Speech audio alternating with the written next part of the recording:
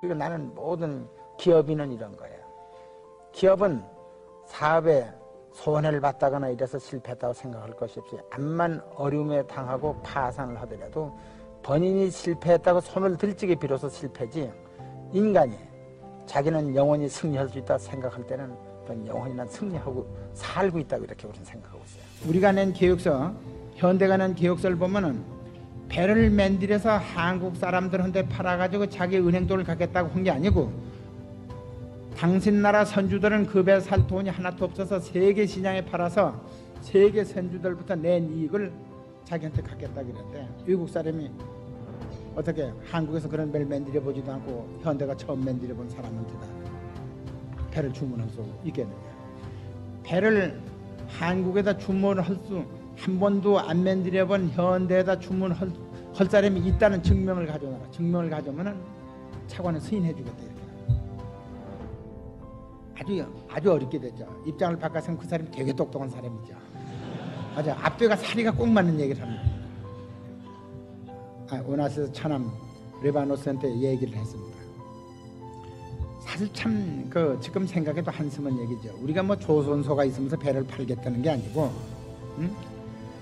그 오만분지 지도, 그 다음에는 그 조선소 지켰던 백사장 사진, 그걸 들고 가서 당신이 배를 사주면은 아주 얘기가 국어이죠. 배를 사주면은 사줬다는 증명을 가지고 영국 정부의 승인을 받아서 영국 정부에서 차관을 얻어서 기계를 사- 뭐 사드리고 그래서 여기다 조선소를 지어서 네 배를 만들어줄 테니까 사라 이런 얘기죠. 근데 어떤 사람은 우리를 보고 엉터리냐 우리 보- 우리보다는 더 형편없는데 그래도 그 사람이 턱 걸려들었습니다. 그래서 26만 돈짜리 탱카 두 척을 그 사람이 3, 3,700만 불씩 약 7천만 불에 계약을 해서 그때 우리 돈으로 다 현금으로 다 계약금을 한 13억 탁 받아가지고 외환에다 탁 송금을 하고 계약서 하고 그걸 들고서 영국 정부 들이댔으니 영국 정부 옴짝 못하고 차관 승인해줬죠. 우리는 우리가 생활해 나가는데 모든 분야에 있어서 다 어려운 게 있지 쉬운 것만 있는 것은 아닙니다. 그 어려운 것은 우리가 다 극복할 수 있다. 나는 이렇게 생각합니다. 우리가 기업을 할 적에 많은 사람들이 그 수많은 기업을 그 어떻게 그 어려운 걸 해나가냐 이렇게 생각하는데 나는 기업에는 어려움이 없다 이렇게 생각합니다. 우리 생활에도 어려움이 없다 나는 이렇게 생각을 하고 사는 사람입니다. 만약에 인간의 생활에 어려움이 있다면 그는 전쟁밖에 없다 이렇게 생각합니다. 나는 실전을 치는 군인은 아니지만은 우리가 모든 세계 줄거리를 이루는 모든 과거 사람들 우리는 서양의 역사를 줄거리를 이루는 나폴레옹이 구라파를 모든 것 적에 그리고 우리는 이 중국의 삼국시대 삼국지에 나오는 모든 사람들을 볼 적에 또 우리가 6.25 전쟁 때 우리가 밀리고 밀고 하면서 거기에 모든 사령관들이 쓴 글을 볼 적에 가장 어려운 것은 전쟁이지 전쟁 이외에는 어려운 게 하나도 없다. 나는 이렇게 생각을 하면서 살고 있습니다. 왜 전쟁이 어려우냐? 수많은 부하가 죽어나가고 수많은 참모가 죽어나가고 자기 생명이 촌각에 있는 것입니다. 우리 기업이 무슨 그런 게 있습니까? 우리하고 같이 일하는 사람들이 아무리 열심히 일하고 해외에 뛰고 밤을 새워 일한다 그래도 죽어나가는 일은 없습니다. 우리는 오늘 풀지 못한 일을 세- 내일 다시 생각해서 풀 수 있고 오늘 진 일을 내일 다시 우리 안전한 생명을 가지고 이길 수 있는 구상을 할 수가 있습니다. 그 때문에 나는 우리의 생활에 있어서는 전쟁만 없으면 어려운 일은 없고 우리나라 장래도 우리는 공산군이 쳐들어오는 전쟁만 없으면 우리나라는 영원히 세계 모든 무역 장벽 여한 어려움이 있더라도 발전해 나갈 거다. 나는 이렇게 확신을 하고 삽니다. 그리고 학생 여러분들도 모든 자기 장래에 대해서 확신을 가지고 사는 게 좋습니다. 우리 인간 사회에 있어서는 자기가 불구자 아닌다면은 아주 천혜의 혜택을 받고 우리는 가장 사계절이 분명한 아름다운 이 땅에 태어나 있습니다. 그 때문에 우리의 장래는 밝고 기쁘고 행복뿐이지 어려움이나 슬픔이나 고독이 있을 수가 없다. 나는 이렇게 생각합니다. 우리 모든 국민들이 정직하고 좀 더 성실하게 우리가 다른 사람들한테 폐가 안 되고 다른 사람들을 돕는 마음으로 우리가 서로 어, 자기 그 앞날을 개척해 나가려고 노력을 한다면은 이 나라는 기필코 이온 세계가 부러워하는 나라로 번영시킬 걸로 난 봅니다. 네, 그래서 예. 우리 다 같이 우리가 항상 이 자성해 가면서 또 미래를 향해서 아주 긍지를 가지고 일해줬으면 이렇게 생각합니다. 변할 사람은 얼마든지 변하는데 기다리겠다 이거. 기다린다 나는. 개인차 다 있어. 개인의 개성 다 달라. 강제 하나도 없어. 강제가 없어 이거는. 자율이야 자율. 바뀔 사람만 바뀌어라 이거야. 바꾸고 싶은 사람만 바뀌어 많이 바뀔 사람은 많이 바뀌어 많이 기여해 적게밖에 못 바뀔 사람은 적게 바뀌어서 적게 기여해. 그러나 남의 뒷다리는 잡지 말라 이게. 이제는 한국도 21세 가까워지고 앞으로 남녀의 평등이 절대 눈앞에 와 있어. 눈앞에 법으로 하기 전에 삼성이 먼저 해라 이 얘기지.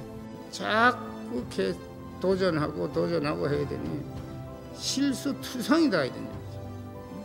이 페- 테스트 플란트도 하고 R&D도 하고 뭐도 하는 데에서 여기서 실수 많이 해라. 이런 실수는 많이 하면 할수록 재산이 된다.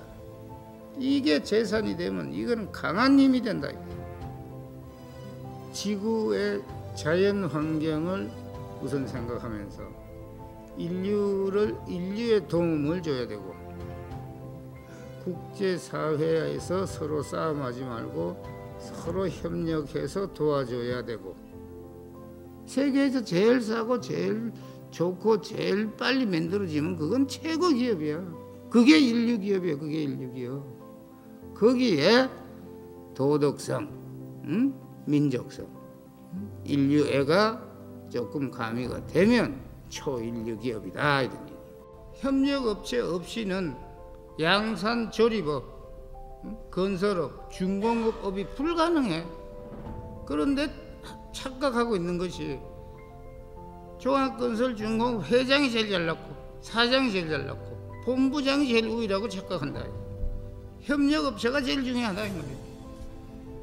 기업에서 본질을 경제 본질 속에서 남보다 좀 낫게 빨리 싸게 좋게 맨- 물건 만들어서 인류가 부흥하는 데 도움이 되고 응? 사람이 편하게 살 수 있도록 도움을 주는 게지 역행하자는 게 아니다.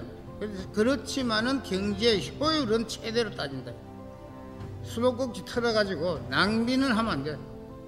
바꾸려면 철저히 바꿔. 극단적으로 얘기해. 농담이 아니야. 마누라 자식 빼는 건 다 바꿔봐. 우선 지역 전문가 지금 대리급이야. 평생 전문가 평생 전문가. 예? 과장도 보내고 부장도 보내고 사장도 보내고 회장도 보내고 다 보내. 평생 전문가 평생 공부. 국제화 안 하고는 1급으로 살아남을 수 없다. 이거. 우리도 철저히 국제화하면서 국제화에 이기주의 버리면 안 된다. 이거야. 그 나라에 가면 그 나라의 법을 따르고 그 나라의 풍습도 따르고 그 나라의 문화도 흡수를 하면서 우리 문화도 소개를 하면서 다 같이 잘 살자 하는 게 국제화지. 인류를 위해서 한국을 위해서 우리 삼성그룹 임직원을 위해서 임직원 가족을 위해서 임직원 자손을 위해서 영원히 잘 살자 하는 거고 세계 인류가 돼버리면 여러분 평소 노력에 이익은 전부가 3배에서 5배 나게 돼 있어 1등만 하면 응? 전 세계가 국제화로 가는 요 시기에 이제는 삼성이 안 변하면은 영원히 국가적으로 2류 기업으로도 2류 내지 2.56잘 해봐야 1.56까지는 갈 수 있을지 모르겠다. 그러나 인류는 절대 내 말에 절대란 용어를 여간해서 잘 안 써요. 절대 안 된다는 얘기예요. 지금 안 변하면 그 국제화 하는데 그 나라에 가서 그 타 민족에 가서 그 민족과 역행하려면 가지 말아라. 그 민족과 결합을 해라. 화합을 해라. 동참을 해. 우리 문화도 상대방한테 소개를 하고 상대방 문화도 우리가 받아들여야지. 인권이야 인권. 응? 회장이 되고 만 5년 몇 개월간 계속 분량 안 된다 분량 안 된다. 모든 것을 양을 지어 양을 없애버리고 질을 향해라. 그런데도 아직까지 양을 양을 양을 하고 있는 게 이게 현실이다. 어떻게 5년 6년 시종 일관 떠들던 질 하나 방향으로 가자 하는 이 질이 안 되는 이 삼성그룹이 질이다 질 응? 양 양을 포기하고 질로 가자는 것도 아니다 양 10% 15% 낮추고 질로 가자는 게 왜 안 되느냐 질이 뭐냐 양이 뭐냐를 자꾸 깊이 분석해 보면 결국 이류가 인류되자는 얘기지. 양을 없애는 없애면 질이 되고 질을 높이면 양이 줄고 이게 아니다. 이런. 나라가 1.5류든 2류든 국제화를 해서 잘만 나가면은 인류도 될 수 있고 특류도 될 수 있고 특 A도 될 수 있다 하는 게 지금 우리 현 위치다. 이 중요한 소비자 입장. 국민 없이 우리 삼성이 어떻게 자랐느냐. 소비자한테 돈 받고 물건 파는데 불량품 내놓고 하는 게 미안하지도 않느냐. 내부터 바뀌어서 내가 잘해서 조직 전체가 바뀌어서 회사 전체가 바뀌어서 그룹 전체가 바뀌어자 이래 가지 나가자는 거예요. 뭐냐 무서운 게 무책임, 무관심, 무참여다 이게.